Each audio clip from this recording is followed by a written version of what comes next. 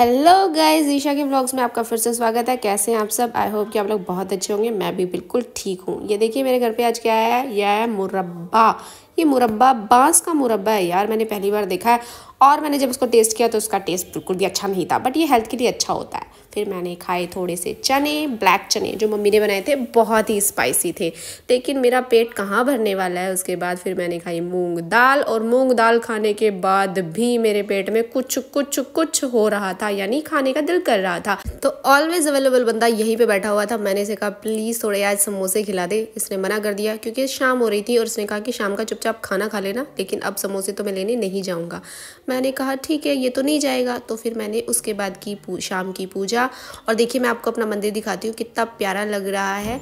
बाहर आई हुई थी मेरी कज़न ये शाम को मेरे लिए कुछ ना कुछ खाने के लिए ज़रूर लेकर आती है, क्योंकि नवरात्रे चल रहे हैं तो ये प्रसाद के तौर पर फ्रूट्स वगैरह कुछ भी लेकर आती है। और मुझसे पूछ रही थी, क्या बना रहे हो? तो मैं अपनी फेवरेट सब्ज़ी बना रही थी। मैंने तैयारी ऑलरेडी कर रखी थी। देखो, सब्ज़ी बन के कितनी अच्छी लग रही है। और सच में बहुत ही यम्मी भी बनी थी। मैं कभी कभी खाना बनाती हूँ कभी कभी कभी कभी फिर ये दोबारा आ गई और मुझे कहती, आज यार अपने हाथ की चाय बना के पिला दो, मैंने मना कर दिया। लेकिन मेरे घर में ना घरा धनिया नहीं था। मैंने मम्मी से पैसे मांगे तो पैसे मम्मी ने रखे हुए डब्बे के अंदर। ओ माय गॉड जिसको देख के हम दोनों बहुत ही हंसे।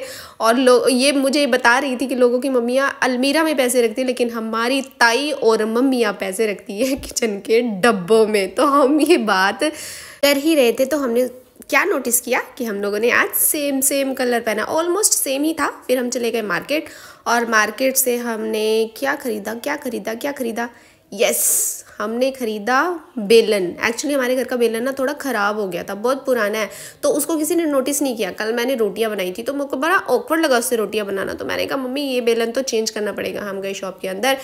शॉप बहुत ही सुंदर लग रही थी, काफ़ी कुछ खरीदने का मन कर रहा था बट फिर मैंने अपनी पॉकेट की तरफ़ देखा और अपने इमोशंस को कंट्रोल किया। तो बेलन पर फोकस करते हैं। यहाँ पर हमने शॉपकीपर को बेलन दिखाने के लिए बोला तो इस मैडम को कौन सा बेलन पसंद आया? ये। डिफरेंट यूनिक जो कि इसने पहले कभी नहीं देखा था। मैंने भी नहीं देखा था एक्चुअली मैं थोड़ा सा कंफ्यूज थी कि कौन सा बेलन लूँ। तो मैं यहाँ पे रोटियाँ बेल के देख रही थी कौन सा बेलन ज़्यादा कंफर्टेबल रहेगा और मम्मी को कौन सा बेलन पसंद आ सकता है वरना मेरी बैंड बजा देती है मेरी माता। ये क्यों लेकर आई वो क्यों लेकर आई?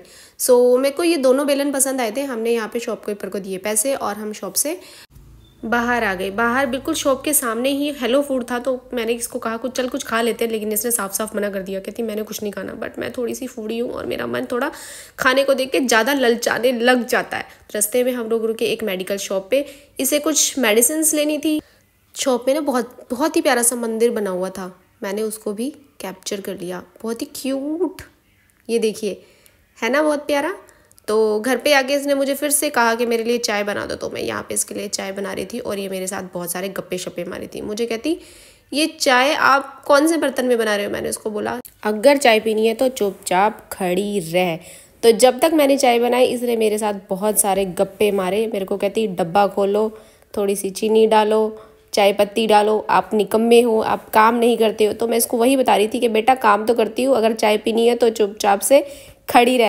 यहाँ मैं इससे पूछ रही थी कि चाय में मीठा कम या ज़्यादा तो इसने मुझे कहा ओ पाजी चाय अपने हिसाब नाल बना दो। तो फिर चाय मैंने अपने हिसाब से बनाई और चाय वाकई बहुत अच्छी बनी थी, जो कि इसने मुझे चाय पीने के बाद एक अच्छा सा कॉम्प्लीमेंट भी दिया कि आपने चाय बहुत ही टेस्टी बनाई थी। फिर उसके बाद आ गया मेरा भाई और मेरे भाई से ये फिर से वही बहस करने लगे कि आपने मुझे आईफोन फिफ्टीन की पार्टी नहीं दी। कोई पार्टी करो, जब तक पार्टी नहीं मिलेगी, ये शांति से नहीं बैठने वाली। है देखिए, हमने चाय के साथ फिर बिस्किट खाए और चाय का कलर भी कितना मस्त लग रहा है। यस मैं चाय भी बना सकती हूँ। वैसे उसके बाद इसने किया हमारा थोड़ा सा एंटरटेनमेंट और जो पुरानी आंटी, पुराने ज़माने में जैसे डांस किया करती थी, वैसे इसने हमें दिखाया। डांस जिसको देखकर हम बहुत ऐसे ज़मीन पर लेट लेट कर डांस कर रही थी। तो आज के व्लॉग में सिर्फ़ इतना ही। आई होप कि आपको आज का व्लॉग बहुत अच्छा लगा होगा। मेरे चैनल को लाइक करें सब्सक्राइब करें और अपने दोस्तों के साथ शेयर करें। बाय बाय मिलते हैं नेक्स्ट व्लॉग में।